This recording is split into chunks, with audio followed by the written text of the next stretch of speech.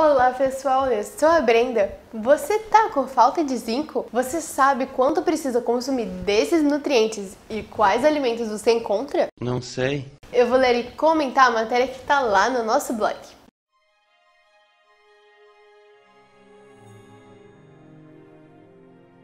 A deficiência de zinco é algo muito comum na população mundial.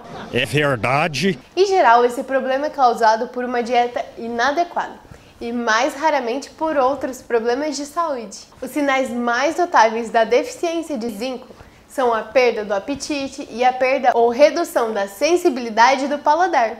Ai, não! Como o zinco se encontra em altas concentrações nos glóbulos vermelhos, a sua falta causa um quadro progressivo de anemia. Eu acho que estou com anemia. Há ainda um severo prejuízo no funcionamento do sistema imunológico, Uma ameaça foi detectada. aumentando o risco de contrair doenças infecciosas. Você tá falando sério? O risco de doenças crônicas e degenerativas também se torna maior, sobretudo quando se trata de câncer, uma vez que o estímulo à glândula tireoide passa a ser insuficiente, desenvolve-se um quadro de hipotireoidismo, doença que desacelera o metabolismo e provoca, em geral, a obesidade.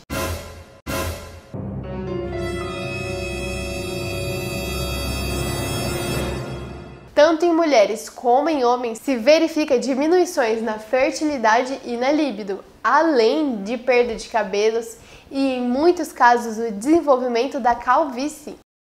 Em crianças e adolescentes, o crescimento se torna lento e até mesmo insuficiente. Os problemas cognitivos se desenvolvem em virtude da deficiência de zinco, que pode desencadear um quadro de transtornos do déficit de atenção e hiperatividade, ou ADHD, nas crianças, ou mal de Alzheimer nos idosos. Mas quanto de zinco é suficiente? As quantidades diárias necessárias de zinco variam conforme a idade e o sexo, além de outros fatores. É, ué. As crianças precisam de 10 miligramas por dia, as mulheres adultas de 12 miligramas, os homens adultos de 15 miligramas.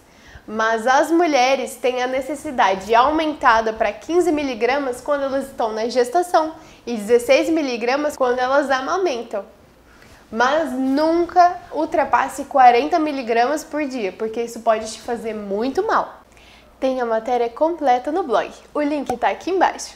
Dê um joinha, se inscreva no canal e depois de inscrito você já pode clicar no sininho. E é claro, comente à vontade. Um beijão e até a próxima!